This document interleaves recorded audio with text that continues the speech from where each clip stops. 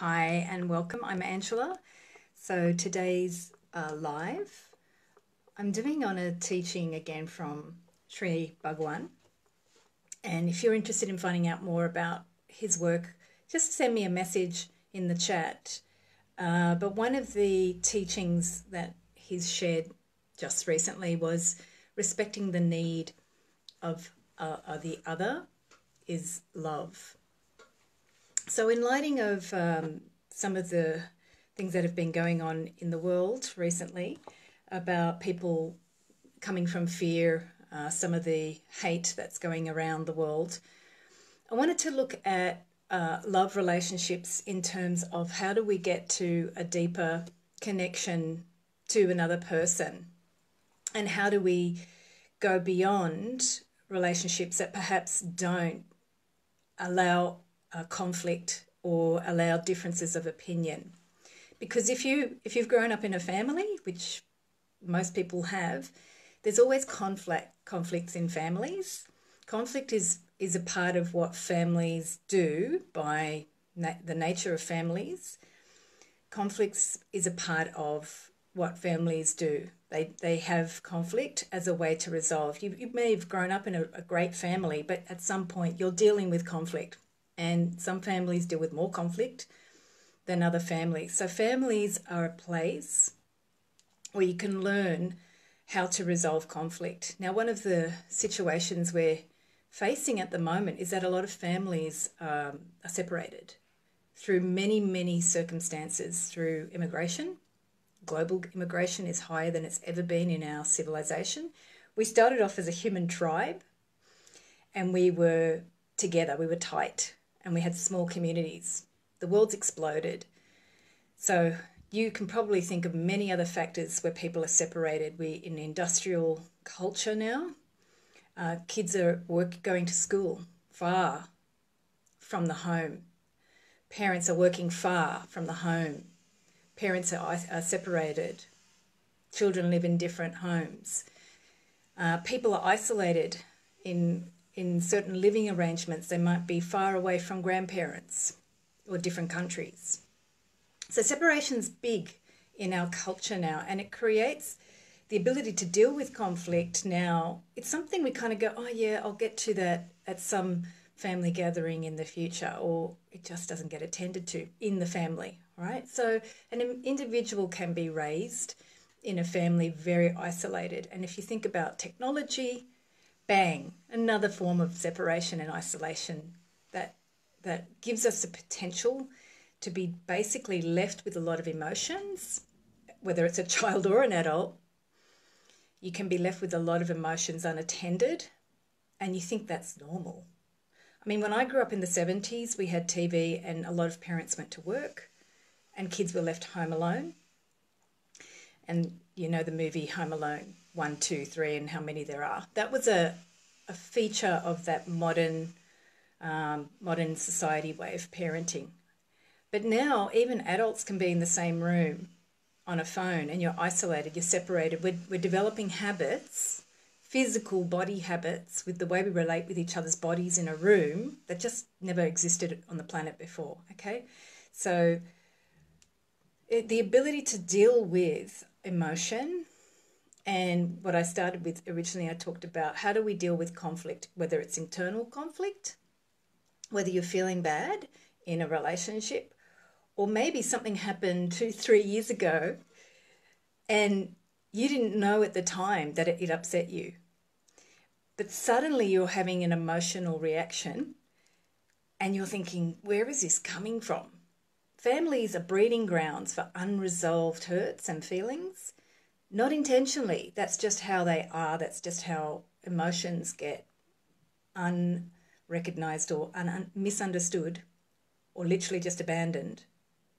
And then years later, they can come back. So, as a consequence, now through more actual physical separation, we're, we're learning habits of misunderstanding and just brushing things under the carpet is it's becoming a way of life as, as life gets more and more busy and more and more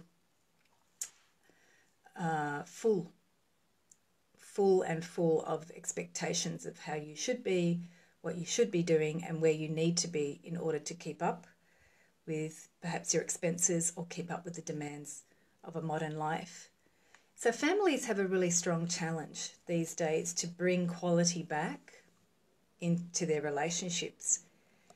However, I would invite you to consider that it's, it's a potential opportunity as well. If you live separately from your family, I'm going to share today a simple strategy to connect. It's just this imagination piece and it's connecting to heart. And if you can check out the link in the description, you can also see in the description there's a, a four part process I have for the art of loving relationships, the art of making relationships thrive. And in that, I talk about connecting to heart. So, one of the things to, to consider why, why don't we connect to heart? Why don't we immediately understand? Why don't we respect people in relationships? Why don't we understand the need of the other in a relationship? Because as a habit, and it's a cultural habit that perhaps has gone on for a long, long time, when emotions or conflict has come up in relationships, in family, or in partnership, or in communities, we tend to not be able to address it. We get emotional. We get embarrassed because we're emotional. And we don't know how to talk about the emotion and we brush things under the carpet. And now that we live in more distant relationships with our families or within our communities, somebody can be isolated and far away from friends. They tend to get forgotten and we don't reconnect, we don't reach out. And that's a habit we've formed through technology. So, respecting the need of the other how do you actually get respect the need of the other if you've had a bad habit and i'm not saying you personally i'm saying us culturally we have bad habits culturally of not addressing our negative emotions or our feelings of discomfort in relationship or our feelings of being less if you feel less in a relationship the habit is to not talk about it especially if you feel less or if you feel like you're in opposition to someone in your family or in your relationships, you don't want to talk about it because you're sort of saying to them, I'm feeling vulnerable and I feel like perhaps you don't like me or you don't want me. So we've got a habit of not talking about those hurts in relationship because we don't want to express that we feel vulnerable, we might feel less, and we might have a fear of losing that person or upsetting that person. Or, and this is another fear I've noticed, in relationships, especially when you're younger, if we bring our discomfort to a parent or to a sibling or to a friend, we actually fear they might um, judge us as criticizing them. And we don't want to come across as criticizing because we want to be their friend. We want to want to keep their love. We fear saying something to someone in case they think we're going to think that they're feeling attacked. So, what we see when we don't deal with emotions in relationship is that all negative emotions, when a person's left with those negative emotions by themselves isolated, that results in a lot of unrequited love. It, you feel you can't get love. You feel you're not enough. You'll never be enough. You feel very little. You feel small. You feel inadequate. And you're going to find people that validate that, that say, you are right to be angry. You are right to feel small. And these people, not you, these other people are making you feel small. And that's not what you should be doing. And thereby, some people who are isolated can end up with hate groups or people that validate a sense of power that they feel they don't have. Other people don't respond that way. But I think when we're looking at why is there hate, why is there isolation in the world, we need, if we wish to change that, we need to look at why and how. Why is very helpful. Why do we respond from a place of lack? Because we've built, we've built up habits for the last 300, 400 years from the, the other industrial revolution. We're in another one now. But we've built up habits of isolating people and we're, we're losing or uh, lessening the value of communicating about emotions. And we've built up habits of avoidance, of talking about those emotions. people go into fear. And instead of talking, they isolate and suppress those fears, and then it comes out through many other destructive ways where they may form hate groups or other people just form groups where they feel they can validate victims being a victim, or we may just isolate from our family relationships and our friends, and we start to feel like our friends or our family members don't understand us. That's the more passive, um, easygoing type manifestation I see. So I'm going to address the the one area where I see in love relationships, family relationships, and, and romantic relationships where we typically have built up a habit of just sort of not respecting the need of the other from avoidance. We don't we don't set out our our love relationships to go into this relationship going, yeah, I want this person to just accept me the way I am and I'm going to I'm going to understand them and I know what they want and I get exactly who they are.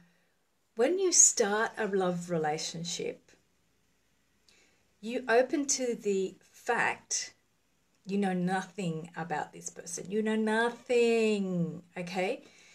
The, the mystery to me is somehow, somewhere along the line of relating to that person, you go, Well, I know how they are. You know how they are. You talk, talk about a family member to other family members about, Well, you know what they're like. They always do this. They're like this. We, we somehow, in the beginning, we, see people as a mystery. Well, in a love relationship, or a parent child relationship, then after a while we start to develop these assumptions that people are this way, they're fixed. It's very um, isolating behavior because in that moment when we do that, what we're doing is we're sort of condemning the person as well as sort of fixing them in our mind and we're relating to them in our mind. And it's it shuts down understanding the need of that person or just even opening up to the mystery of them, what they could be, or what could be going on underneath for them. Maybe there's a hurt there. Maybe there's a, a struggle they have. Maybe there's a complex side to the person that you have no understanding of, which I've experienced in my family. So I've been blessed to really struggle with understanding some of my members. But when I opened to the mystery of them, I became fascinated and that it led to understanding. It took a long time, but the journey was so incredible. And this is what I see is lacking in a lot of love relationships. We're not interested in people. We at the beginning of a love romantic relationship, oh, I don't know anything about them. Then about a, after about six months, we start developing these very fixed uh, ideas. Then we get upset because the person is responding that way. And then we sort of react to this idea of the person. And then we justify it by their behaviors instead of actually going into, well, hang on, why? Why are they acting this way? Where is that coming from? Not from a place of getting them to understand you, but from a place of wanting to understand them and how they trigger you. Susan's just mentioned consistent curiosity. And consistent curiosity Thank you, Susan. Consistent curiosity, behind it is your intent. So if you want to add, Susan, what's your intent behind consistent curiosity in that other person? I'd love to hear. Because if you have this intent to really just go, wow, what is that person's need? And why am I upset by it? What, what does it bring out of me? What does it confront me with? What does it challenge me with? Why does it hurt me if it hurts you? Or why does it confuse you? I know in my family, I got confusion and anger. So I had this opportunity to understand why I was confused, what I was really looking for, because I didn't have a strong, clear sense of myself. That's why I was confused. But my anger was the key one. And I was angry because I didn't feel a sense of myself being validated in the family relationship. Now, once I got to that seminal point of understanding that I was being triggered by the family member, that I wasn't getting a sense of myself validated, that didn't mean suddenly all of my relationships became this magical paradise. It meant I had something to work with and build respect on. It's so every time I got triggered in the family situation, I could go, oh, that's there's my sense of validation not being respected. That's my feeling, right? And then I actually saw how that family member sometimes also had the same need of being validated as myself.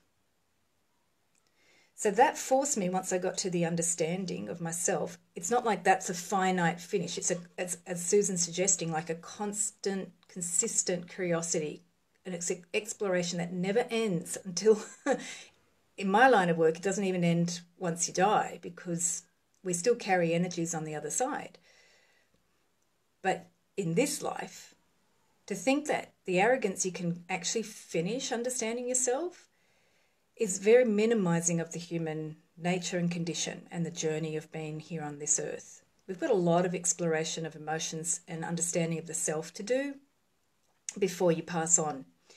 And even on the other side, it goes on. So, in that moment where I got the understanding, it gave me a building block to then, in every time I had a connection with the person, to be curious and with the intent of wanting to understand their need I got more and more relationship. The relationships became, over time, more playful, more organic and natural. So I wanted to read Susan's comment. Um, so Susan is saying her intent behind this consistent curiosity in the other. Why is this showing up? What is the lesson available? Where is the pain?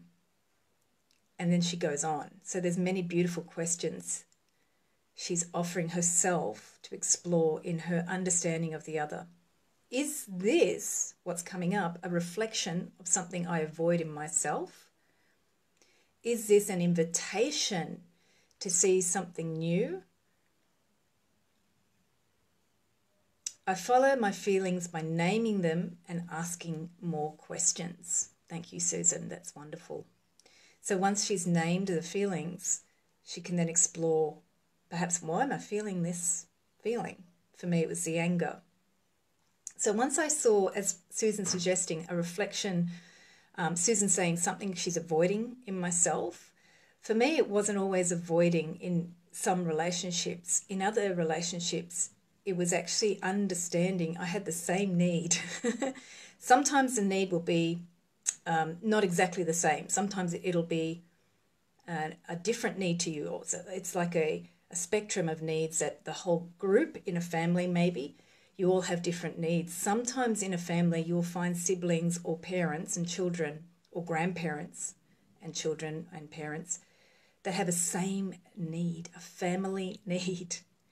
So that's what I discovered. And in the need, say, for my anger, the self validation, I actually got to learn how each member in the family taught me something different about that same need we all shared. So, family units can be fantastic for exploring how to go deeper into some consistent need you may have. And I invite you to look at if you've got siblings, you're blessed because they all probably have a little piece of your puzzle, and some of them may annoy you very deeply, or they may not uh, have a relationship with you. So sometimes we want closeness, but closeness will actually avoid you learning the deeper need of or what the lesson is. And sometimes those family relationships, unfortunately, are not about a emotional or physical intimacy, and that can be quite hard in a family. But they can, I can guarantee you they're going to teach you the opposite, through often the opposite of your need as well. So they may deprive you of, in my case, it was self validation.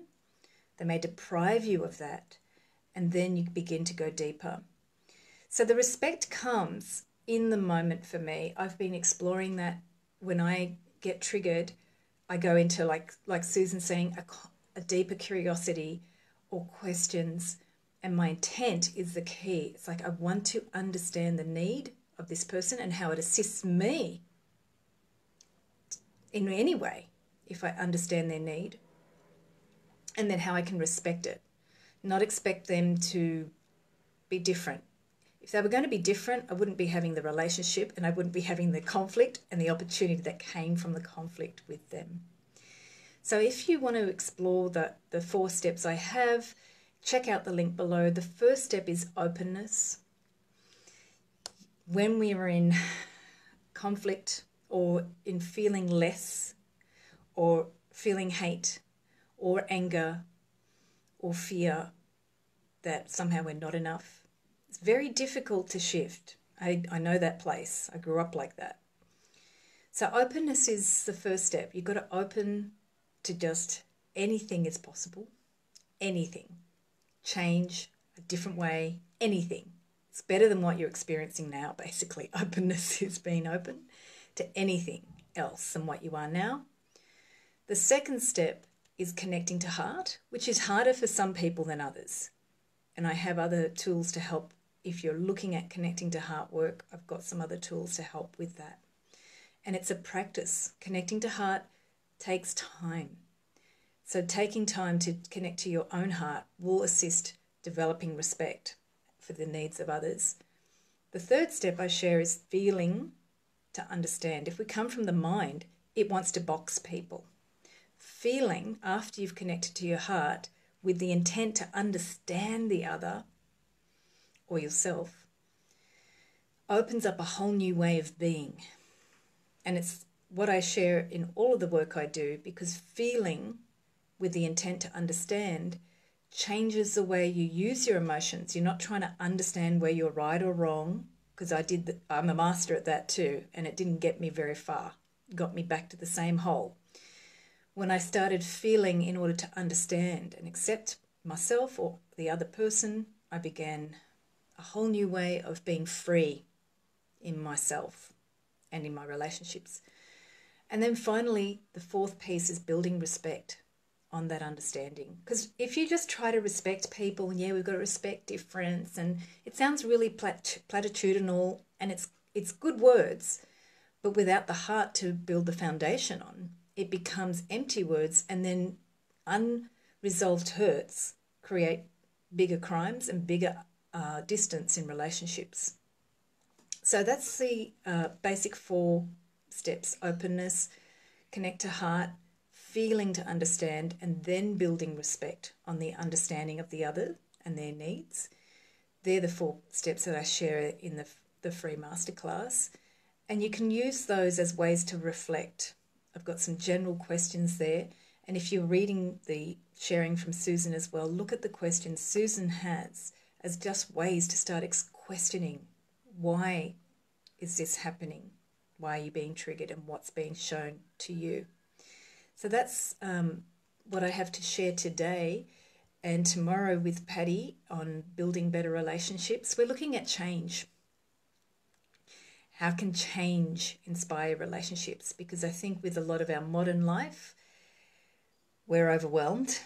But let's let's look at it as an opportunity. So Patty and I are going to share that in both work relationships and personal relationships, and I'll put a link in the uh, video as well. Thank you for joining, and I hope that your love relationships are opening up to